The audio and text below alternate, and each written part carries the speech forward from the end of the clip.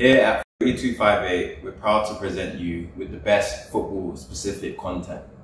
We work with many companies and many ballers to give you, the viewers, the best content possible. You, the viewer, we're always looking to help you improve your skill set.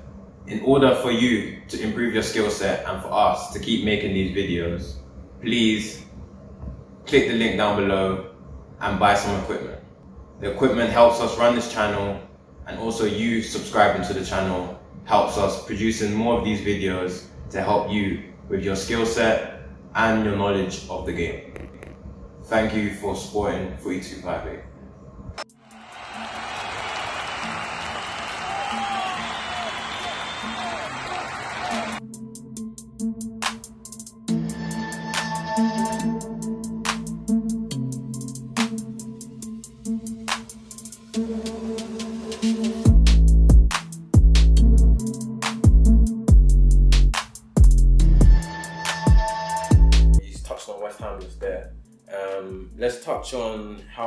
All got started for you, man. Like let's let's touch on that. Um, so what was your okay? What age did you get into football, and did you even like football when you got into it? obviously growing up it was like we we all in my area everyone wants to play football um, growing up in my school everyone was playing football so you had no choice there was it wasn't no basketball hockey Cricket, cricket. people were playing cricket like nah it was when we play PE it's football if Yeah. not football it's rounders if it's not rounders then any other thing we're not playing it innit? Yeah, yeah. And so, like growing up, it was literally football. And I remember my school coach, uh, Donovan, he used to um, take us and do sessions with us, and then take us to a place called Ferndale near me, Okay. and we would play uh, against other schools. Yeah. Um, and so I started in school, obviously primary school, um, and then I was kicking, but I wasn't I wasn't the best. I, I wasn't like there was about a good three four people better than me Okay. in my in my in my in my age in primary school. Um, and yeah, that was that was that. And obviously, one day I remember I was kicking outside my estate, not my estate, but like yeah. And um, my coach, that was to be my coach, um, he saw me playing and he saw my brother. And this is a true story. And he goes to my, he goes to me my brother's playing football. And he goes, he points at me and goes, "You're gonna be the footballer." And he points at my brother and he goes, "You're gonna be counting his money." and then my brother was like, "No, no, no, that's not gonna happen. No, no, no." You know, you And didn't want to accept um, it. No, he didn't want to accept it. and so this is actually a hilarious story. Um, and then like, he just said that, and then me and my brother started training with him. We played for his Sunday league teams right up until we were 12, 13. Okay. Yeah. And then my brother went to we we had various trials in the meantime, but like we just never got in. I was at Fulham for ages. Okay. Um, didn't like on trial at the development center. They Didn't get me through. Um, Yeah. Then I went to then I just started playing Sunday league, and I just enjoyed it Yeah. but like I was really, really doing my thing at Afui, um, and then obviously done my thing there, done my thing, and obviously went into secondary school. Um, I was still playing for them in my first in year seven, sorry, Yeah. and then um, I moved on. My PE teacher he referred me to South London District, Yeah. which is like the best players of South London. We get together, we play against like North London, which is Brent, which is where you're from Yeah. and we play against different different teams. Um, luckily, I got to um, captain them. Did you go to youth games, by the way? I didn't. I didn't. I, Oh, I didn't go to youth games. Yeah. um, I captained them and whatnot. Um, and then shortly after, I um, was able to get into in the London county, which is even bigger. So it's all the best Londons in London, Yeah. best players in London. We play, get together, play. And um, funnily enough, the coach of South London District was the head scout at Wycombe. Okay. So he got me in there. Um, not got me in. We actually played against them, and then obviously I got in. Um, and from there, I was kind of playing with them, um, doing my thing, um, and then I was always playing up, um, which worked to my benefit because like that's how I got the trial with Arsenal and whatnot. Yeah. Um, I had a trial. Um, who else would I, would I go to? In fact, before I was going to sign for them, I had chance to go on trial for Charlton. Okay. Um, but some some reason or another, I, I didn't go. Um, I remember actually, I sat down in the car park with my dad, and he said, "Look, Wycombe want to sign you, and you could go and try for Charlton." But my dad wanted me to go to Charlton, innit? Because they were they were in the Prem them times, innit? Oh right. Yeah. So it was like, he was like, "You have a chance," and I was like, hmm, "Nah, I'd rather be like where I'm playing and I'm loved and I'm the best player, and I can develop." Where I was going there, I might get lost in it, and that was my only worry. I was about thirteen them times. It's alright, it's your choice, isn't it? And Mm. sign for Wycombe. Do you think that was the best choice back then? Yeah, Yeah. yeah. Because obviously, I went to Wycombe at the age of fourteen. I made my reserve appearance. Oh wow. Um, at the age of fifteen, I started training the first team. By the way, that's like you're 15 years old. You're still in school. You're playing with men. you're, you're playing with men. Yeah. So that's not it's not a discussion to be honest. You know, that's that's probably the best route. Yeah. Yeah, I think. And so um, I was obviously playing with men and whatnot. Um, and then what happened was, yeah, I was training with the first team, Mm. playing reserves and whatnot. And then um, from that, I obviously got trials elsewhere. Yeah. Got trials at um, Chelsea, um, didn't get in. Yeah. Um, but obviously through that, West Ham always wanted me since like under 14s kind of. Yeah. But I didn't pursue it.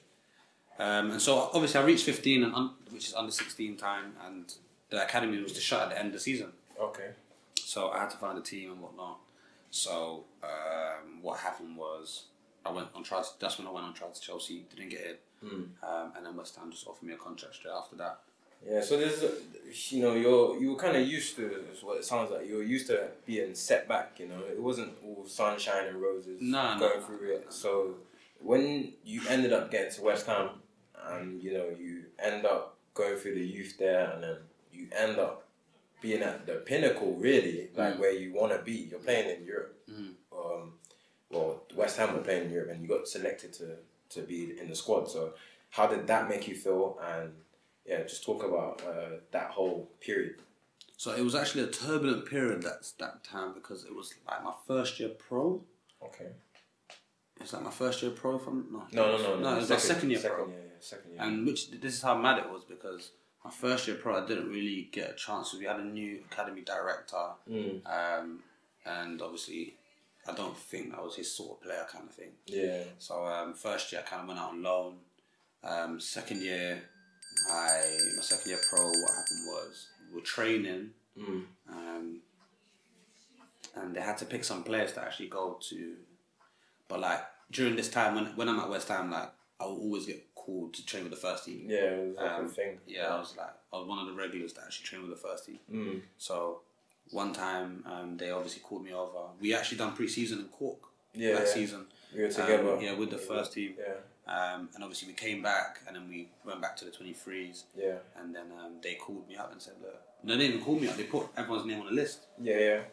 And um, I remember after training, um, they said, oh, make sure you have a look to see who's, who's um, part of the first team travelling. yeah. And I was like, whatever. But I didn't even look at it. I walked past it. You probably thought, oh no, Yeah. because you know, in that situation, when you've been set back so many times, and and people they don't believe in you, Yeah. like even doesn't matter what you're doing, they just don't believe in you Yeah. for whatever reason. You always think, you know, it's gonna it's gonna happen again sometimes, you know. Mm-hmm. But that's why you gotta stay mentally strong, and you gotta be, you know, feel like you know sometimes you gotta get over that little hump that Mm. you you come across. So, um, yeah, explain when you looked at the. So obviously, um, I walked, I walked past it into the change room, got changed and whatnot. And someone said, Are you're on the list." And I was like, oh, "Whatever."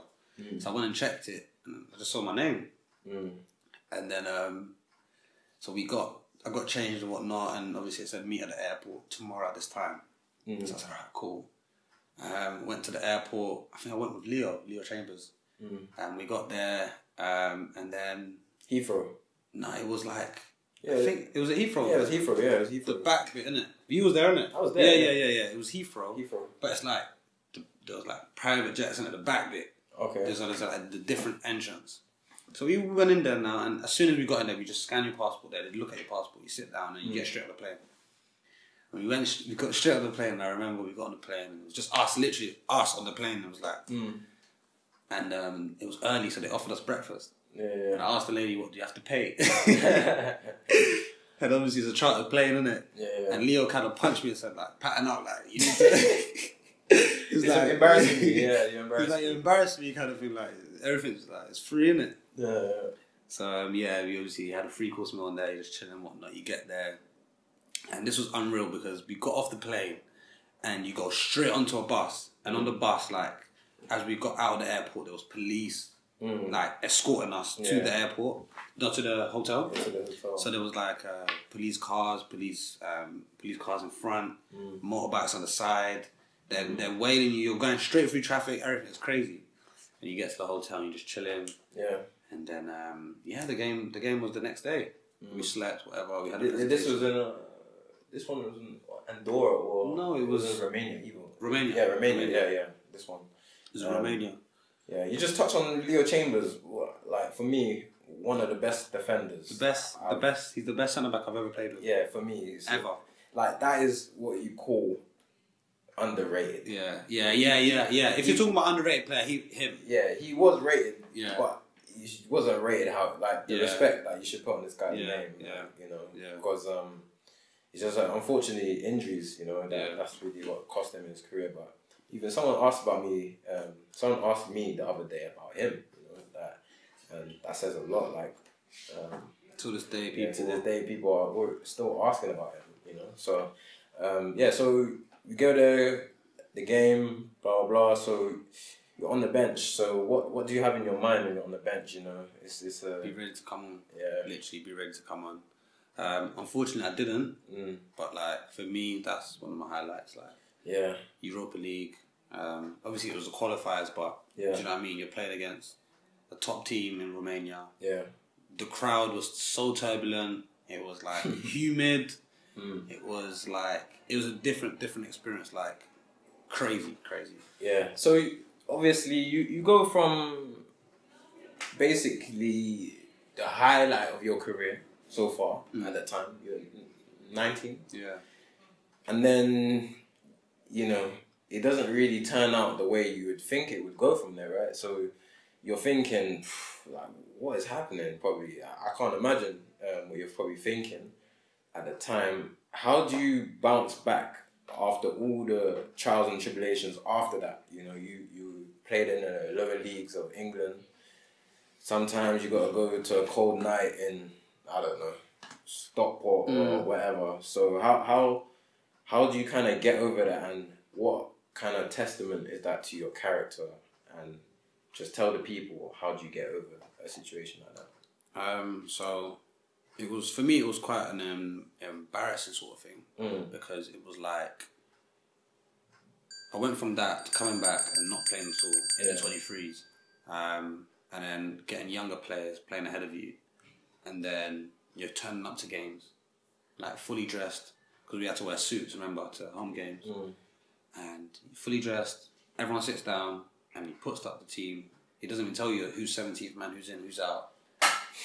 And then it's like, all right, I've got to walk straight past my peers that we were all bantering this week. We're going to do this, that, in the game, and they're going to play you or not. Mm. And obviously, it kills your self esteem, mm. and um, mentally, it, it killed me at the time. Yeah. But for me, I'm grateful that it happened because I mm. wouldn't be the person I am now if, that didn't happen. yeah So obviously I went from that and I was just like, "Do you know what? Like they, they even forced me out on loan that year. I went to Aldershot. Forced me out as well yeah forced me out on loan. I went I went to Aldershot, um, didn't play a game, um, and the guy didn't like me that bad that um, he actually even though I didn't play, he just said, Yeah, just be there for the experience and renew your contract there for another month and I said, Nah. So he pulled me back in, come back to the club and I said, Look, I don't care who I'm training with, but I'm not gonna be there, just sitting down in it. Mm. So I come back and um, he offered me a pay up, and I said, "Nah, I'm gonna stay till the end of the season, so I can get full training, I can get full physio, full gym, everything." And yeah so I was literally in every single day of the week, like every single day of the week. When everyone's off, I'm in Yeah. training with the 18s or something like that. something stupid. Um, and then that's that, and obviously I was I wasn't receiving the best advice outside of football, obviously with my agent and whatnot. Um, he obviously said, "Oh, this could happen, that could happen, this happened." Um, sorry to, sorry to cut you so when when you get offered a payout let's say a payout just so everyone knows is when the club comes to you and they don't want to keep you and you don't really want to stay there either because the club don't want you and they'll offer you a percentage of your money not all of it um, where you can go take it and then you can go sign for another team. So people say that is the best solution because both parties are happy then you go on with your career and also you get money and then you get paid from your next team. Or you stay for the end of the season, you take your money and then you know you have to wait until the summer. Let's say if in your situation you have to wait until the summer to find a new team, and that's where everyone's trying to find a new team. So how how would you say? What what do you think? Tell the viewers what the best situation or solution you think. Personally, for me, it was more training than the money. Yeah. It was like keeping fit up until the summer.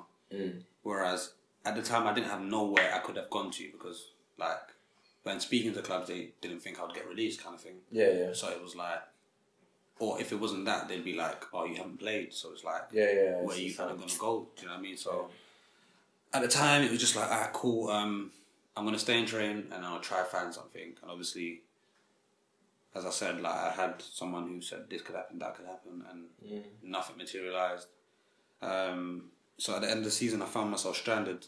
Um, so, sorry, I sacked the agent I had at the time, and I got a new one. Um, and obviously, that agent done a lot for me. Obviously, he got me a trial at Cambridge. I played two matches for them. First match, man, the match. Second match, um, done really well.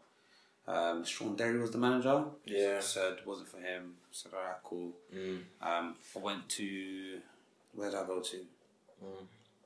I went to Dagenham and Redbridge. Okay. John Still was the manager. Done my thing. Was playing well. Mm-hmm. Um, didn't sign me, so I was going lower and lower, and then I went on trial at Charlton. Mm-hmm. I went on trial at Charlton, and um, um, yeah, I done I done all right. I didn't do great, but I done all right in it. I done decent. Um, but like one thing about trials, it takes its toll on your head, innit? Yeah. Like you're, you're thinking, alright, another trial. Yeah. Um, I'm gonna do another trial, and it's like, so yeah. So I went. Like Jason Euell said, look, you're good, whatnot, but like the gaffer saw the, the last game, and he just didn't think like you're ready and you're his type of player and whatnot. Mm. But Always seems like an excuse, isn't it? yeah, Always, uh, and I, or it's like one of them ones where you, you think, what is the reason? You know, you, you have a good game, like you said, you had at Cambridge, Mm. and you rip up the game. But like, what is the excuse? Like, what's the point of even bringing me? in? yeah, yeah. Like, that's the that's the really what kind of puts people off even going on trial. And Mm. you know, people can look like they're arrogant or big time. Let's say if you're not going on trial, but it's like it's it's a kick in the teeth. You know, when Mm. you keep going, you keep going, and then they keep saying no, and the reason there's no reason Mm. at the end of the day. Now the, the the Cambridge one hurt me because Yeah. it was more like like literally I got home and it was all over like the Cambridge paper saying like Ross stood out. yeah, So it's like alright, I'm gonna get signed here kind of thing. yeah, And it's like you go back for the second game yeah, and how I kind of realized something was wrong was because you know how they do 45 45 or 60 30 yeah, different differentiate the minutes. yeah. I played the whole game the first game, the whole game the second game, and I was thinking, so what is it like? The left back was injured or something like? Was, do you know what I mean? Like, was it like I'm just filling in for someone Oh yeah, I, mean, kind of I thing? know what you mean. And I think that was the, the thing. Like, I just filled in for someone kind of thing. They Obviously, I, you, yeah. Mm. I done my thing, but it didn't really nothing materialized. And by the way, you have to pay for your own expenses. You have to, you know, take the money Own out of your pocket, everything. own food, everything. Petrol, And, yeah, yeah. and really and truly, the opportunity and time could have been spent somewhere else. For more content like this, like, share, and subscribe.